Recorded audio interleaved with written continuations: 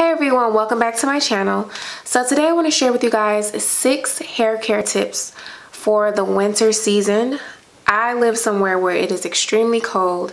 We get snowstorms, it's windy, it's dry outside. So our hair here where I live is just more susceptible to damage because of these extreme temperatures. So I want to share with you guys six things that I will be doing this season to maintain healthy hair and to keep moisture in my hair. So number one, you can't have healthy hair without a healthy scalp. So I will be doing coconut oil scalp massages. And the reason why I chose coconut oil is because I watch a lot of hair content and I see a lot of women use coconut oil in their hair for scalp massages. I used to use coconut oil in my hair and I would leave it in my hair. But what I learned is specifically from Indian women is that they use coconut oil in their hair, but they wash it out. Um, especially when they want to have a, uh, when they're getting a blowout or straightening their hair. They will put the coconut oil in their hair, massage their scalp, maybe even do like a hot oil treatment with their coconut oil and then they leave it on overnight or for a few hours and then they wash it out. So I have the Spectrum coconut oil. This is the organic cold pressed unrefined coconut oil. I got this from my local health food store and I actually have done this a few times now. Before I straightened my hair, I did a coconut oil scalp massage and I didn't just focus on my scalp, I also put the coconut oil throughout the strands of my hair. I let that sit in overnight and then the next morning um, or the next afternoon, I got my hair washed. So I noticed a big change in the way my hair looked. My hair was shiny and my scalp was not irritated or dry. I recommend coconut oil scalp massages. I know right now there's a lot of hair professionals saying don't put oil in your hair. And what I think they mean is don't put oil in your hair and just leave it in your hair. I don't really do that as much, only if my hair is like old and my scalp is dry. But for the most part, the, the way I use oil is by putting the oil in my hair before I wash it so that you know, the shampoo can be drying and it can strip your hair of all its oils and shine. So when you put this in your hair before you shampoo it, you are helping your hair to not become stripped from shampooing. So number two is hair mask, but adding a little bit extra to your hair mask. So I have an avocado here, which I love to eat. And I hear a lot of professionals say don't put food in your hair. I'll say this. In other parts of the world, women, they they live off the land. They grow their own food. They so because they grow their own food, they use their food for multiple purposes. Sometimes they use food on their face. They might do avocado face mask or they use the food on their hair. They may use avocado hair mask because these foods have nutrients in them. They have oils in them. I like to look at women around the world and see what they're doing and a lot of women around the world use food in their hair. They use eggs in their hair. They use um, oils in their hair. They use foods like avocados in their hair. As you all know, Cardi B, if you don't know, she has this hair mask that she makes, which is avocado, mayo, and egg. And I've always known about this. Even as a child, I knew to put mayonnaise and eggs in my hair. Um, but we would do it from time to time because the eggs have protein and the mayo has protein and hair professionals, they critique a lot of what women do at home. And I honestly feel like they do that because if you are doing your hair at home and you figured it all out, then you won't need them. They have a purpose, they're necessary, trust me. Hair professionals are necessary because my sister is a hairstylist and she straightened my hair and she blew my hair out and my hair looks better than when I do it myself. So I do think it's important to go to a hairstylist to get your hair cut, uh, get trims, and even blow dry your hair if you want sleek results. But when they tell us not to do things that women are doing and have done for centuries, women have always put food from the land in their hair.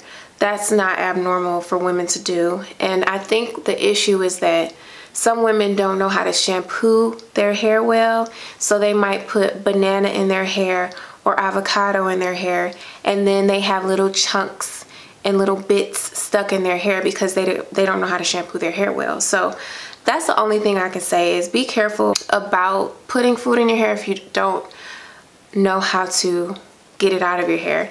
And I think like with banana, it's better to do that one before you wash your hair.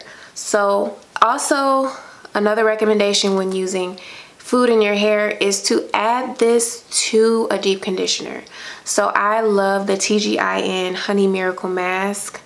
Um, and I would, what I would do is add an avocado in my mask so that it can just add in some extra nutrients. And the reason why avocados are good for your hair is because avocados contain potassium, they contain magnesium, and they contain healthy fats which help to nourish your hair, to add shine, and to add um, to help smooth your hair out. Hair out.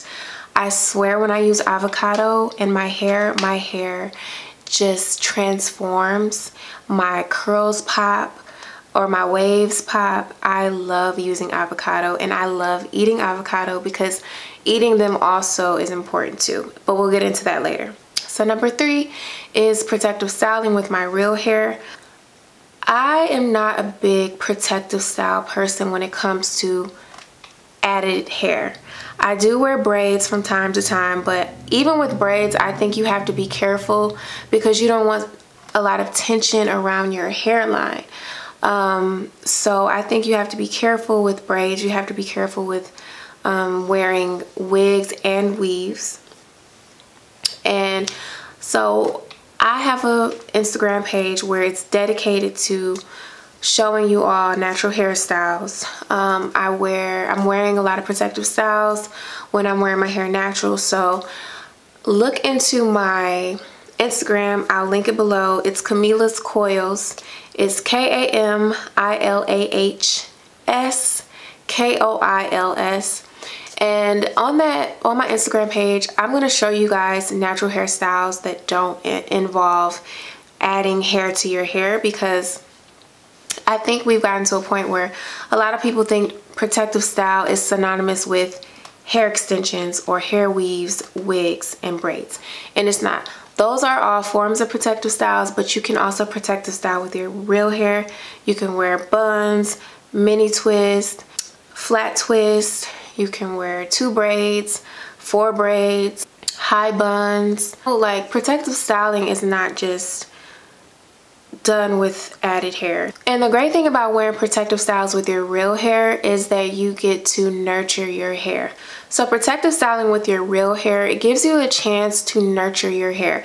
It gives you a chance to add in product to the ends of your hair. I have to protective style with my real hair because my scalp is sensitive and I have seborrheic dermatitis so it's not good for me to wear braids um, for extended periods of time. My scalp needs to breathe. So yes, guys, follow me on Instagram and my hair page to see more of the protective styles that I come up with during this winter season. My number four winter hair care tip is to trim your hair every three to three and a half months. So I know this is controversial because a lot of hairstylists will say trim your hair every six to eight weeks. And I think that is good for people who wear their hair straight often or people who color their hair. For me, I don't color my hair and I don't straighten my hair often. So every three to three and a half months works best for me. So that's every 12 to 14 weeks, I'll get my hair trimmed. That works best for me because I only straighten my hair, what, four times a year. So I don't really need to get my hair trimmed every six to eight weeks because of my because of how I typically wear my hair. Number five, so like I said, I don't straighten my hair often. So that means I'm wearing my hair natural majority of the time. And something that has been really working for me lately um, to keep my hair, hair feeling soft and moisturized is a product that is like hair grease but it's not hair grease. So my number five tip for winter hair care is to layer on your products. And you know there's all of these methods the LCO method the LOC method. My method is cream heavier cream pomade. So what I have here are Carol's Daughter products. I have the Goddess Strength Divine Strength leave-in cream. And then I have the Carol's Daughter Marguerite's Magic. This is the Restorative Hairdress Cream. This is for dry, brittle, and textured hair. It says it deeply nourishes, restores strength, and improves manageability. And then I have the Carol's Daughter Mimosa Hair Honey. And this is a shine pomade for dry, brittle, and textured hair. So when my hair is wet after I wash it, I don't spritz it with a liquid. I just put this leave-in on and then I put on this hair cream and then I put the pomade in. And what the pomade is, is it's like hair grease. I know, you know, with the natural hair movement, women stop using hair grease and that's fine. You know, you don't have to use hair grease. Not every black woman even needs hair grease. But my hair is very dry. Pretty sure I have low porosity hair.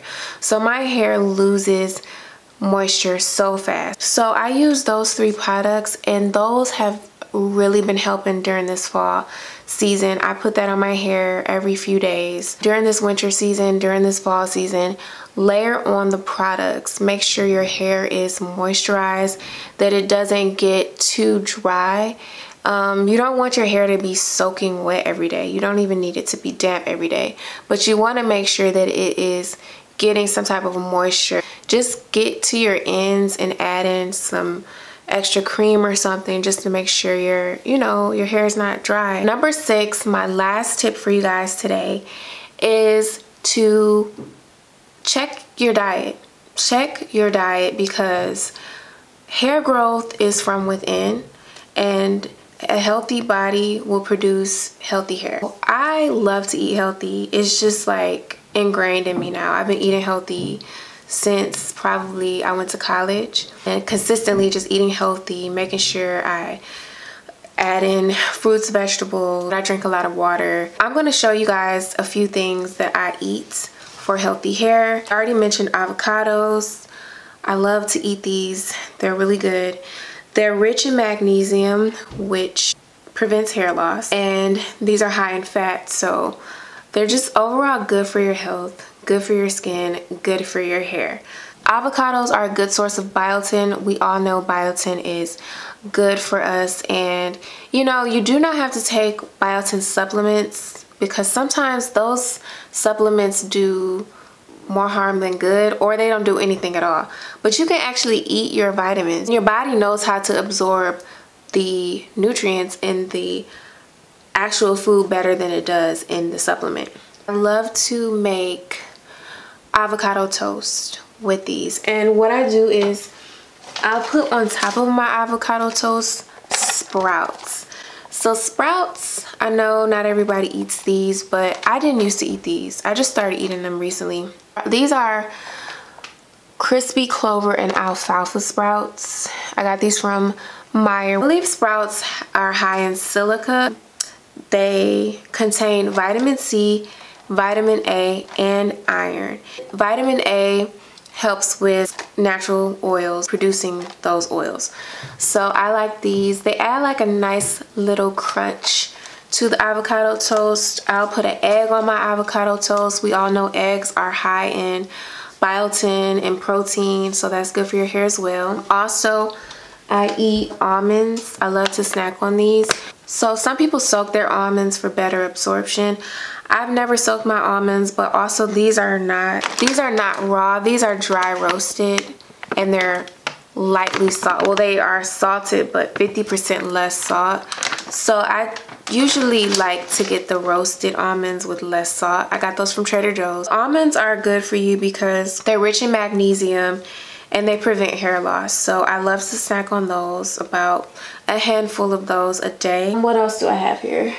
I have sweet potatoes and sweet potatoes are high in vitamin A, um, beta carotene, and vitamin A again helps your scalp to produce natural oils. Drink a lot of water. Also blueberries. I love to have a blueberry shake, a banana blueberry shake with peanut butter and oatmeal. That one's good because blueberries are rich in antioxidants. Blueberries, they improve oxygenation and circulation of blood in the body, particularly the scalp. So blueberries are good for thick, healthy hair. And also they have been proven to slow down the process of hair aging. So these are all the things that I try to do to help my hair during the winter. Winter is rough. So anything that I can do to nurture myself, nurture my body, take care of my health, I'm all for. I hope that these tips help you guys out. And if you have any questions, please leave them down below. And I will talk to you guys later. Bye.